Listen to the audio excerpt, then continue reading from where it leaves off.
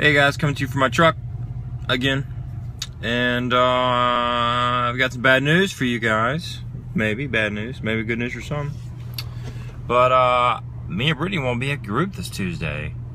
Um, yeah, so I need a volunteer to lead group. So just let me let me know what you think. Man, I'm gonna be in the woods all week with my wife for our birthdays, our 40th birthday, so I can't do it, Cody. I'm sorry. I'm out. I'm gonna be in Dallas.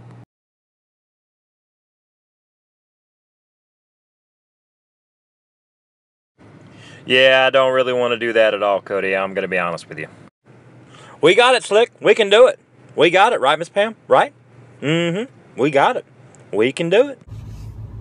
So awesome. Thank you to Mr. Greg and Miss Pam Hayes. They will be leading group on Tuesday. They were the first to volunteer. It was perfect. Um, obviously, Justin didn't want to do it. I guess he didn't really have much to say. Um, but yeah, so that is what's going on. Mr. Greg and Miss Pam are leading group on Tuesday. They are just uh, awesome. So uh, it should be good. It might even be better, honestly. So um, yeah. Also, another announcement I need you guys to remember when I talked about staff appreciation on Tuesday? Well, it's our time to shine. Now, our group needs to be responsible for five main dishes, four side four side dishes, and four desserts. Now, can we sign up for more? Yes, we can. But we need to make sure that those bases are covered first before we start going overboard.